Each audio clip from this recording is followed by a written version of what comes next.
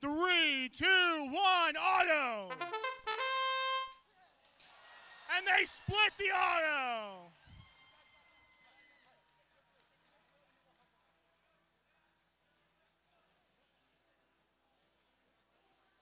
Oh no, not like this.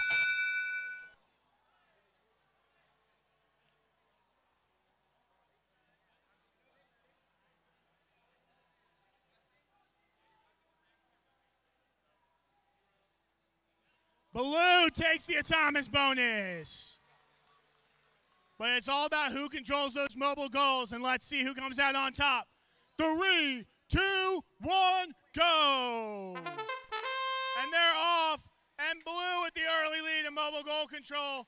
Pink Sparkling Unicorns was set up in the right position. 1575 Y stuck in the corner. We'll have to see if they're able to break free. Terminal Velocity looking for match loads. They start piling them up those rings. Meanwhile, Exobytes has to help term has to help 1575Y Yo-Yo off the ring. They do. Red now in full swing.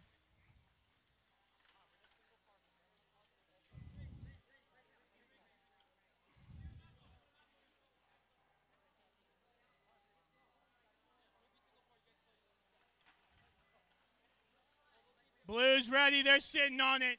Minute left. Let's see what Red Alliance can do about it. Trying to use those match load rings, piling them up.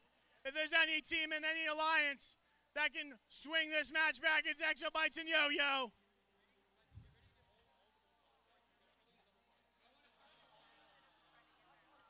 Forty seconds left. Blue Alliance still chilling.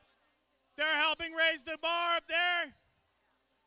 They're letting their alliance partner park. Pink Sparkly Unicorns parked.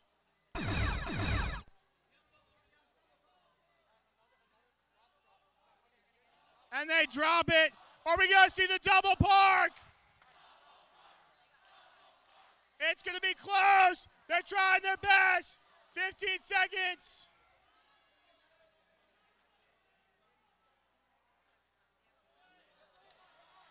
Eight seconds left. They're climbing. It's so close.